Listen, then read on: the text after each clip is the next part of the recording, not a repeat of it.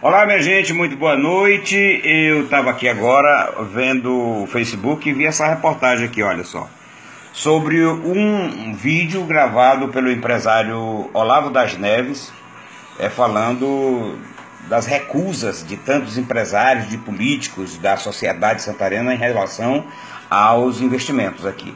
Eu adoraria, vi o vídeo todinho, adoraria questionar, adoraria rebater e criticar o senhor Olavo das Neves. Adoraria mesmo, sinceramente. Por ele estar no governo, por ele estar no CODEC, mas eu não posso. Eu tenho que me render e tenho que concordar com o empresário Olavo das Neves, porque ele falou a pura verdade. E quem fala a verdade, doa quem doer, merece meu aplauso. É a pura verdade que Santarém, nas últimas décadas, tem feito isso remado na contramão da direção, remado em desfavor, em desfavor do progresso, em desfavor do futuro, é, do, do, emprego, da geração de, de, emprego, de renda, de divisas. É, todo investidor, todo, isso é uma pura verdade, todo investidor que vem para Santarém já encontra logo o repúdio, já encontra logo é, alguém rebatendo. Aqui não pode, isso não pode. Aqui não pode fazer isso. Tem que respeitar nosso boto, tem que respeitar o nosso rio, tem que respeitar nossa, nossas caretinhas de índio. O cara vem construir uma indústria em Santarém, uma empresa, um shopping, seja lá o que for, aí não pode porque está em cima daqueles fragmentos, aqueles pedacinhos, aqueles caquinhos de, de vasos de indígenas.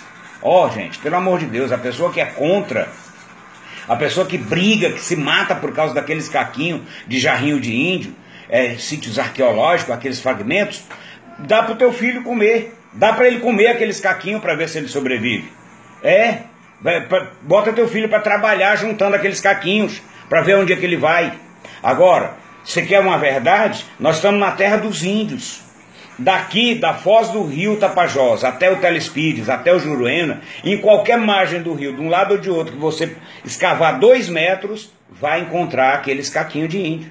Agora não pode trazer investimento nenhum. Santarém está ficando no marasmo, está ficando no atraso por causa dessa ideologia maluca, absurda de voltar ao que era antes, ou seja, de fazer Santarém ser uma tribo de novo dos Tapajós, sei lá. É um absurdo isso. Tem que mudar essa consciência tem que, não pode, concordo, não pode construir a qualquer custo, os investimentos têm que vir pela porta da frente, beleza, tranquilo, mas barrismo não, gente. Barrismo e progresso não andam junto no mesmo ônibus, não. As pessoas têm que abrir espaço para os investidores, eh, tem que, tem que ser maleável, tem que ser complacente, não pode ser desse jeito. Desse jeito, os investimentos, como o Olavo falou, os investimentos vão para outro canto vão para outra cidade, vão para Meritituba, vão para Itaituba, para Altamira, os investimentos vão embora. E Santarém ficando para trás. Olavo, eu quero te dar parabéns pelo teu, pelo teu posicionamento, pela tua opinião e pela tua luta. Tomara que você. Eu não gosto do seu governo, viu? Do governo de Simão Jatão eu não gosto.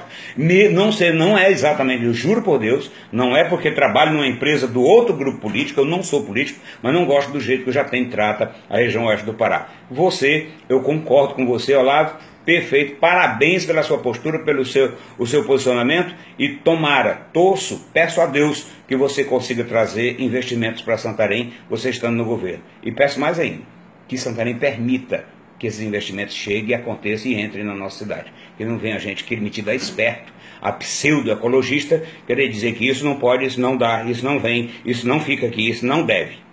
Boa noite.